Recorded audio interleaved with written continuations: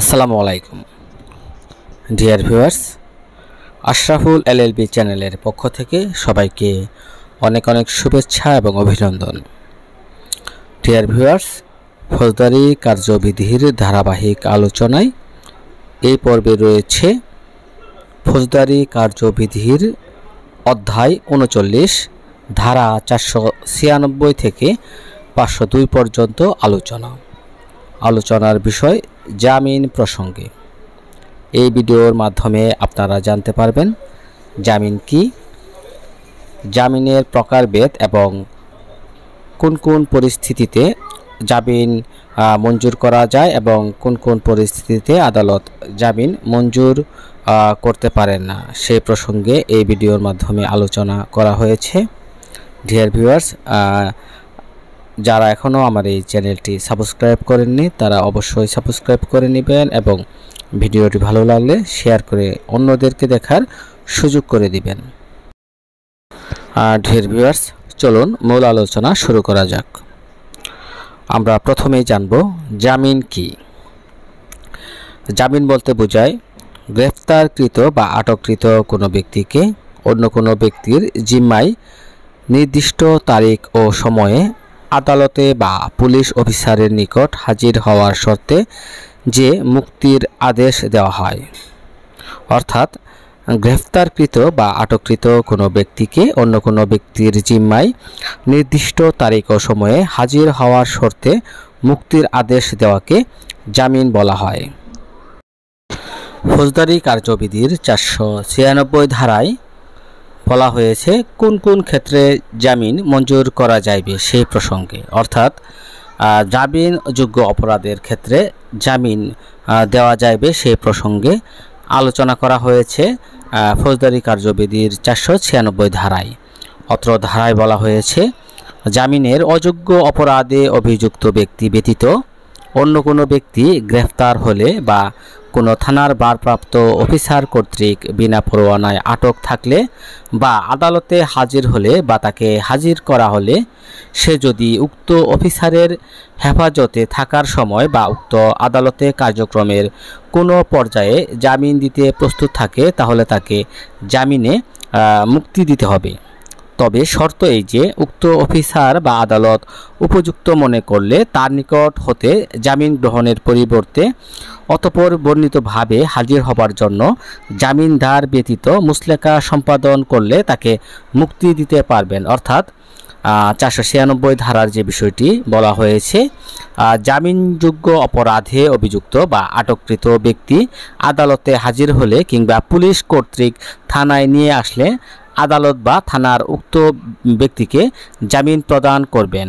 এক্ষেত্রে জামিন পাওয়ার তার আইনগত অধিকার হিসেবে পরিগণিত হয়। জামিন দেওয়া আদালতের জন্য বাধ্যতামূলক ডিয়ার ভিউয়ার্স আমরা এখন দেখব জামিন অযোগ্য অপরাধের ক্ষেত্রে জামিন মঞ্জুর করার যে প্রক্রিয়া সেই সম্পর্কে।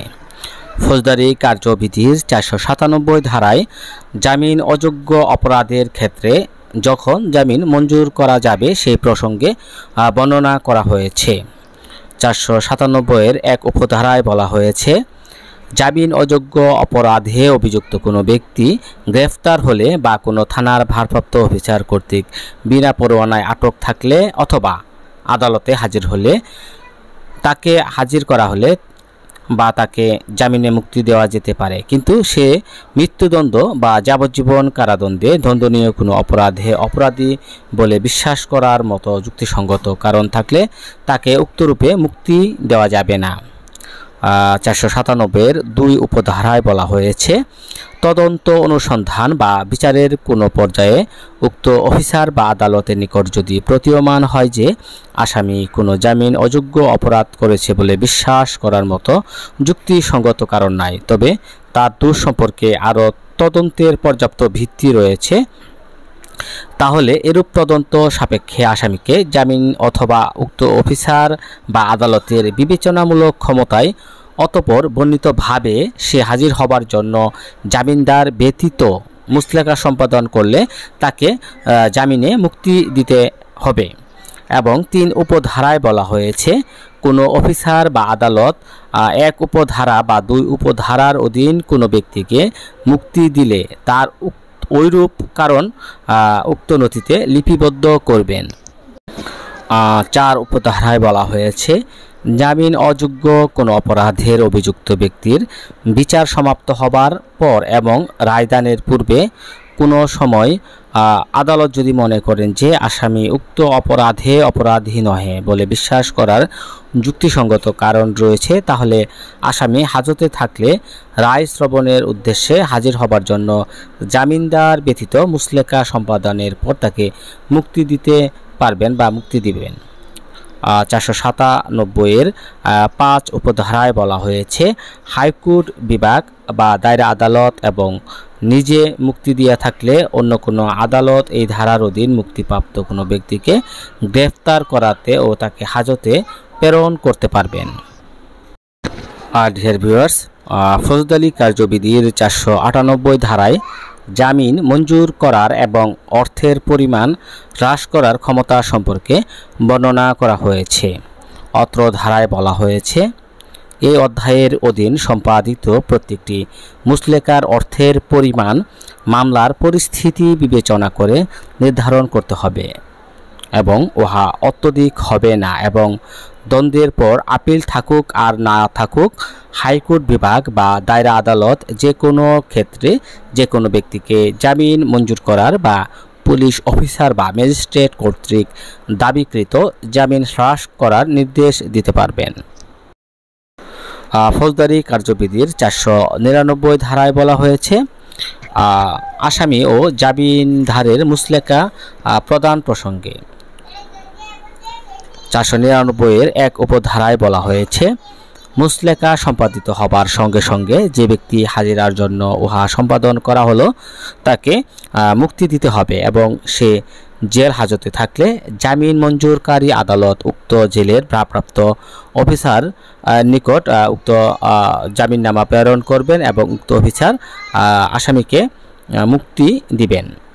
দুই উপধারায় বলা হয়েছে, মামলার জন্য এর প্রয়োজন হলে জামিনে মুক্ত ব্যক্তির জন্য আরও শর্ত থাকবে যে, অভিযোগের জবাবদানের জন্য আহ্বান করা হলে হাইকোর্ট বিভাগ বা আদালত বা অন্য কোনো আদালতে হাজির হতে হবে।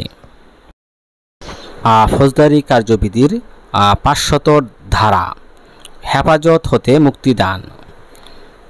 পাঁচশো এক উপধারায় বলা হয়েছে মুসলেকা সম্পাদিত হবার সঙ্গে সঙ্গে যে ব্যক্তির হাজিরার জন্য উহা সম্পাদন করা হলো, তাকে মুক্তি দিতে হবে এবং সে জেলে থাকলে জামিন মঞ্জুরকারী আদালত উক্ত জেলের ভারপ্রাপ্ত অফিসারকে মুক্তির আদেশ দান করবেন এবং উক্ত অফিসার এই আদা, আদেশ পাবার পর তাকে মুক্তি দিবেন।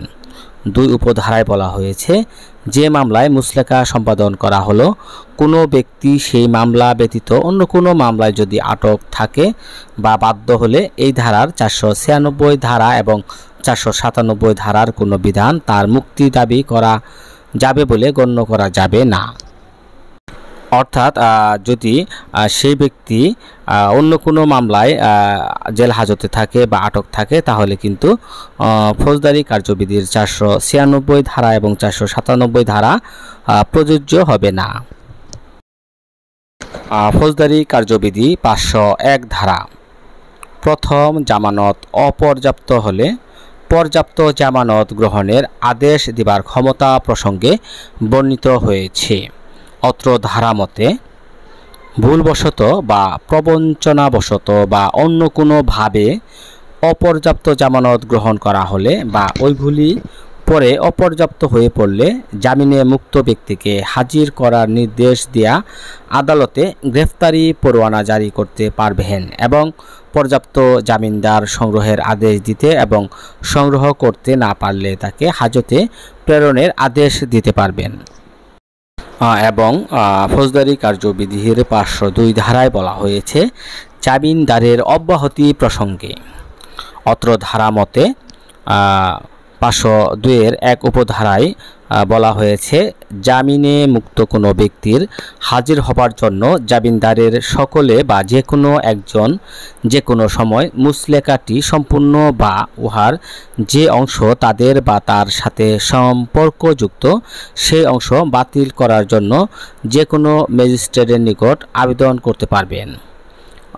পাঁচশো দুইয়ের দুই উপধারায় বলা হয়েছে, এরূপ আবেদন করা হলে জামিনে মুক্ত ব্যক্তিকে হাজির করার নির্দেশ দিয়া ম্যাজিস্ট্রেট গ্রেফতারি পরোয়ানা জারি করবেন এবং তিন উপধারায় বলা হয়েছে, পরোয়ানা অনুসারে উক্ত ব্যক্তি হাজির হলে বা সে স্বেচ্ছায় আত্মসমর্পণ করলে ম্যাজিস্ট্রেট মুসলেকাটি সম্পূর্ণ বা আবেদনকারীর সাথে সম্পর্কযুক্ত অংশ বাতিল করবেন এবং উক্ত ব্যক্তিকে পর্যাপ্ত অংশ জামিনদার সংগ্রহ করতে বলবেন এবং সে যদি সংগ্রহ করতে না পারে, তাহলে তাকে হাজতে প্রেরণ করবেন। ডিয়ার ভিউয়ার্স, ফৌজদারি কার্যবিধির ধারাবাহিক আলোচনায় এই পর্বে জামিন প্রসঙ্গে বর্ণনা করা হলো। ইতিপূর্বে ফৌজদারি কার্যবিধির প্রথম অধ্যায় থেকে আটত্রিশতম অধ্যায় পর্যন্ত বর্ণনা করা হয়েছে। আপনারা যারা সেই ভিডিওগুলো দেখেননি, তারা আমার এই চ্যানেল থেকে সেই ভিডিওগুলো দেখে নিতে পারেন। ডিয়ার ভিউয়ার্স নতুন নতুন ভিডিও পেতে আমার এই চ্যানেলটি সাবস্ক্রাইব করে পাশে থাকা বেল বাটনটি বাজিয়ে দিতে ভুলবেন না। সবাই ভালো থাকুন, সুস্থ থাকুন। এই প্রত্যাশায় বিদায় নিচ্ছি। আল্লাহ হাফেজ।